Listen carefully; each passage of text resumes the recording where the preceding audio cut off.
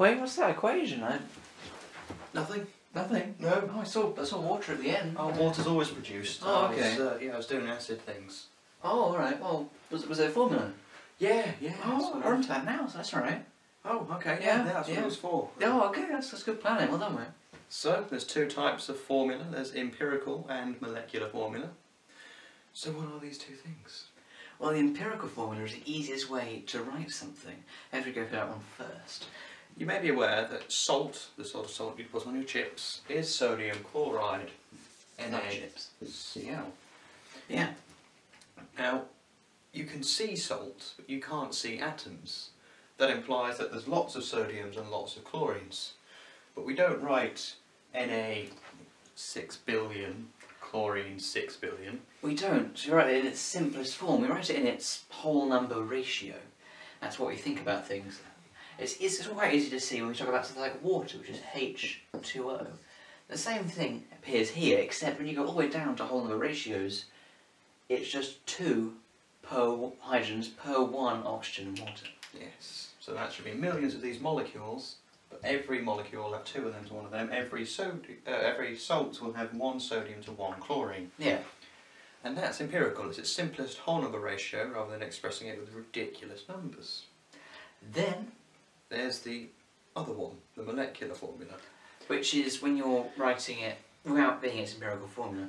So But it's these- actual. These are the same, the, its molecular formula is the same as its imperial form, empirical formula. But for some, say, some hydrocarbons, Yeah, it's butane not. jumps to my mind. Butane is C4H10.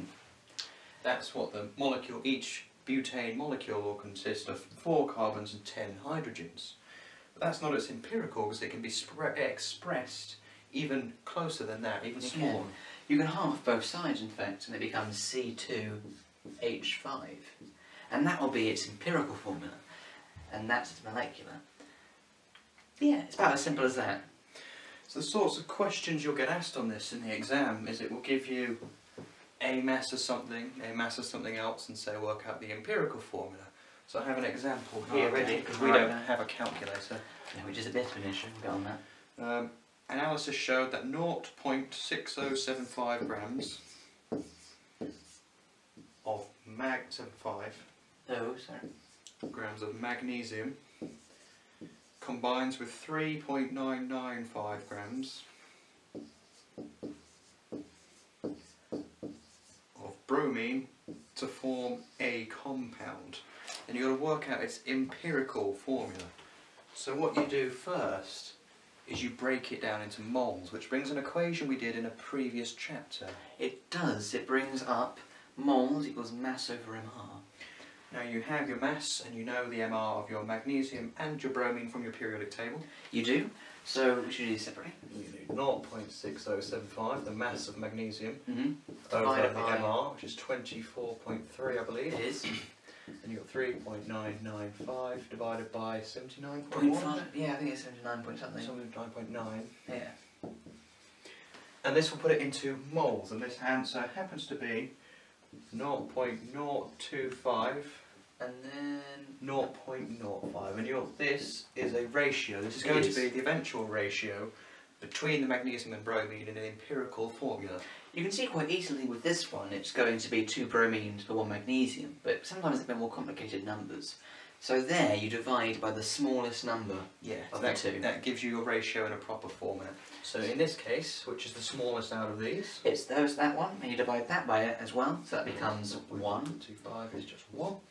And 0.05 divided by that is 2. So that is your ratio, remembering this side is magnesium, this side is bromine. And that means um, empirical formula will be MgBr2. Later on, when we go through the periodic table and what things mean, you'll be able to work out that this particular example is MgBr2. But this is useful for other ones that follow very strange rules and you won't know Absolutely. exactly off the top of your head. So that's what this is for, and this is empirical, because that's the simplest ratio, that's what you're doing here. Mm-hmm. Uh, molecular, I happen to have another example, so if you want to rub this off. Oh, okay, okay. Now I'm going, all of these examples can be found in this book, so if you do happen to have this book, then they're all in there, you can have a look at what we're doing. If not, I, th- I think we're going through it on the board anyway. So, ah, so molecular. A compound has the empirical formula CH2. Alright. How they ask these questions, they give you the other formula.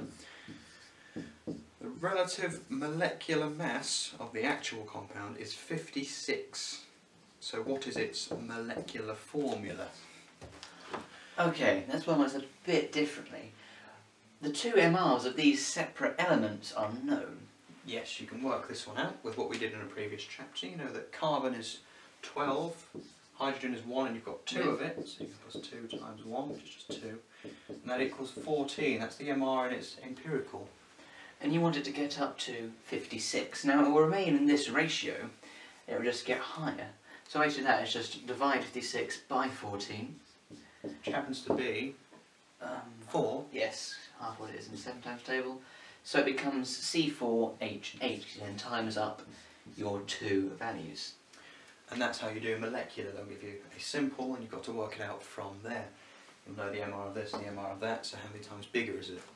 This one happens to be butene, uh, just in case you're wondering. Yeah, And these are the sorts of questions they'll ask, and I think that's it for this video. I think it is. So we'll um, see you in the next one. But are you plotting something, Wayne? Oh no. No, water's always produced.